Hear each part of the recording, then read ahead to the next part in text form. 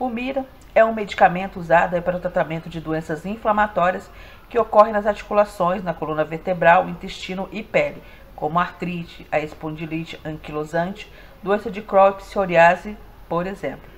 Esse remédio contém adalimumab em sua composição e é usado em injeções aplicadas na pele pela pessoa ou um familiar. O tempo de tratamento também varia de acordo com a causa, devendo por isso ser indicado, óbvio, pelo médico. Uma caixa de umira de 40mg contendo seringas ou uma caneta para administração pode custar aí aproximadamente entre 6 a 8 mil reais, bem salgado, né? Ele está indicado, como eu já havia dito, para tratamentos de adultos e crianças com mais de 13 anos que apresentam artrite reumatoide, juvenil, psoriática, espondilite anquilosante, doença de Crohn e psoríase.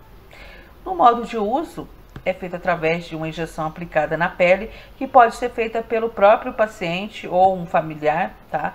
A injeção normalmente é feita no abdômen ou nas coxas, mas pode ser feita em qualquer local com boa camada de gordura, inserindo a agulha aí a 45 graus na pele, injetando o líquido durante 2 a 5 segundos. A dose recomendada pelo médico, no caso da artrite reumatoide, da psoriática e espondilite anquilosante, é administrar 40 mg a cada duas semanas. No caso da doença de Crohn, durante o primeiro dia de tratamento, administrar 170 mg dividido em quatro doses de 40, tá?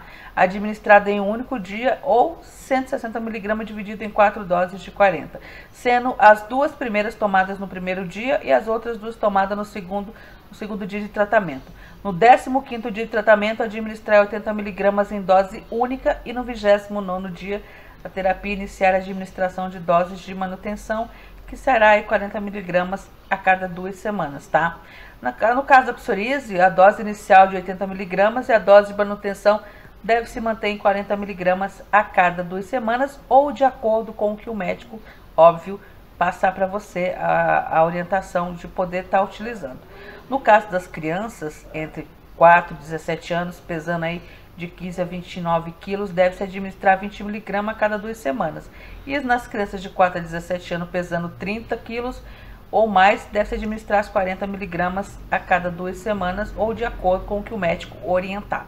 No caso aí dos efeitos colaterais, que é o foco do vídeo, óbvio, é, alguns efeitos colaterais do uso da Umira ou da Adalimumab, que é tudo uma coisa só, inclui dor de cabeça, erupção na pele, infecção no trato respiratório, sinusite uma pequena dor ou sangramento no local da injeção. Lembrando que esses efeitos colaterais não é todo mundo que possa ter, tá, gente?